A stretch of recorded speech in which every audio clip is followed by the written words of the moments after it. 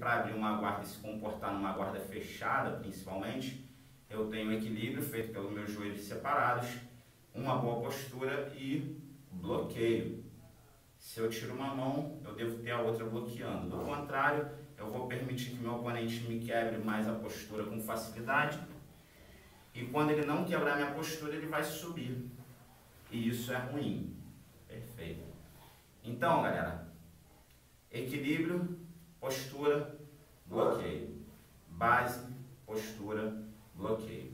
Bom, vou começar fazendo uma abertura simples, tá? onde eu tenho as minhas mãos aqui na altura da faixa do netão ou na calça na altura do umbigo.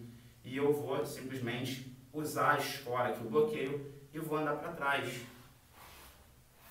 Vou abrir essa guarda, abrir. Bom, nesse primeiro movimento, eu vou manter o bloqueio e vou simplesmente baixar uma perna dele. Vou passar por cima da perna. A mão pode ficar no bloqueio ou pode já jogar ela aqui do lado como um apoio, palma da mão no chão. Passei uma perna, antes de eu soltar a pegada do joelho, eu vou passar outra perna. E aí eu tenho as mobilizações. Esgrima, braço dominado, leque ou 100 quilos, uma perna escada, abraçando cabeça, ou as duas dobradas.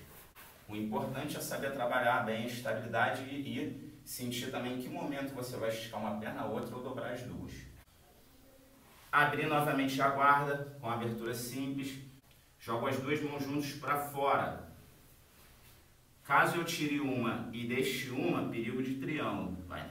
Ó. Beleza.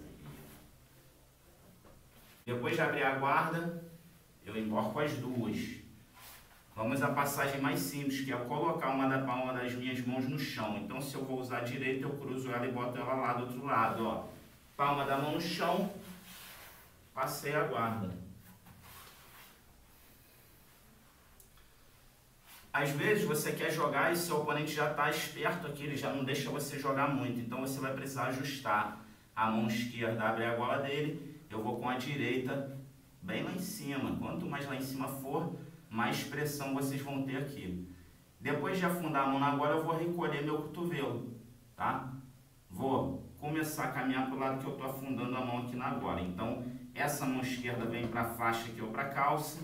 Eu venho girando o corpo, abro minha base esquerda e venho amassando. Venho amassando como se fosse jogar a perna do netão no ombro dele aqui, ó. Amasso e passo.